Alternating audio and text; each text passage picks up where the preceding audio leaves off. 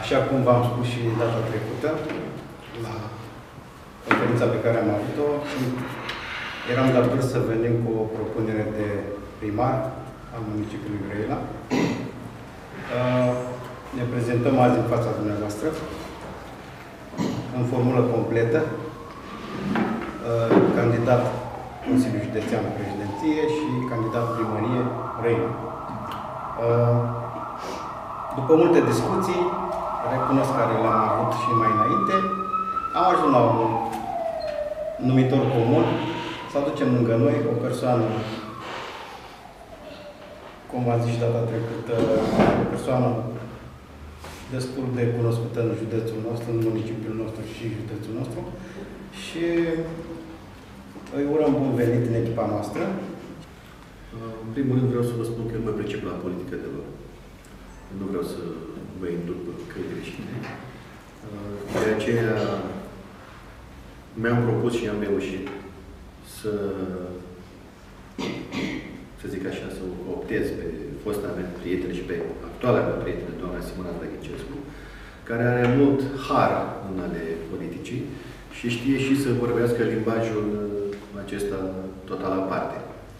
Uh, Mă gândesc că Partidul Ecologist Român, filiala Brăila, împreună cu celelalte două partide, sunt cam singurele care nu au legături cu culoarea roșie din județul ăsta. Și ăsta a fost un atu pentru subsemnatul. Mă gândesc, deși astăzi este ziua numai în care prezint candidatura, mă gândesc că avem multe lucruri de făcut. Nu lucruri care s-au făcut și care n-au însemnat decât normalitatea, nimic altceva.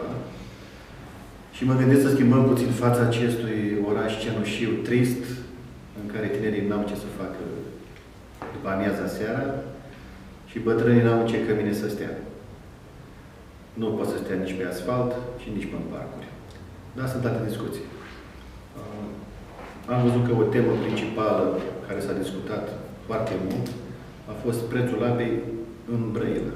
Nu o să abordăm acum tema asta, dar vă spun sigur că împreună cu domnul președinte și cu șefa mea de campanie, avem un proiect foarte clar, foarte clar, cu date tehnice, care pot conduce la scăderea prețului apei. Foarte simplu, din punctul meu de vedere.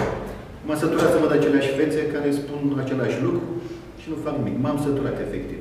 Și din punctul meu de vedere, cred că au furat cam mult, ajunge. Eu zic să duc acasă. Așa, asta e părerea mea. Acum vedem ce putem să facem. Poate ei sunt mai deștepți și poate ajung la inima și la creierul mai multor alegători și atunci îi scoatem pălăria și să continuăm mai departe ce se întâmplă în Brăila în ultimii 20 de ani. Vorba maestrului Dinică. Brăila un oraș minunat, unde nu se întâmplă nimic. Vă mulțumesc. Sunteți